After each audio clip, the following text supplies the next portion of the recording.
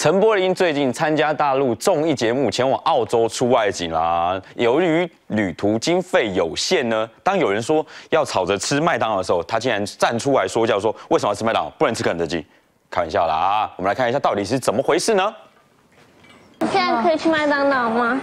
因为现在这边的餐厅啊都是六十以上，那我们就都不吃餐厅了。我说可以吃两天麦当劳。我先讲一下，陈柏霖上大陆节目，一群人去澳洲出外景，不过因为经费有限，二十三岁的女星赖雨萌又吵着要吃麦当劳，让大人哥忍不住说教了。我可以吃两天麦当劳。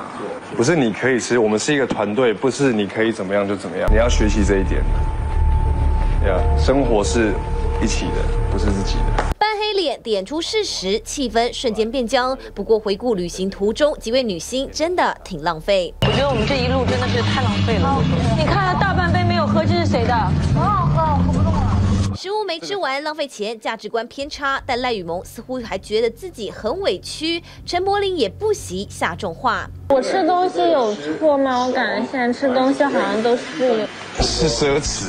大家每天喊饿，点的东西都不吃完，你只要花两块钱就可以填饱肚子，你为什么要花十块钱而浪费八块钱？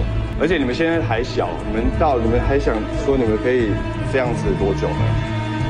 长大吧。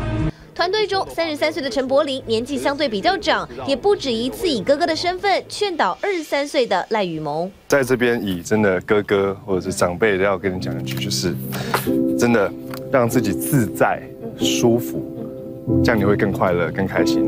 其实陈柏霖向来都蛮有想法，之前也曾经为杂志拍影音，化身心灵导师。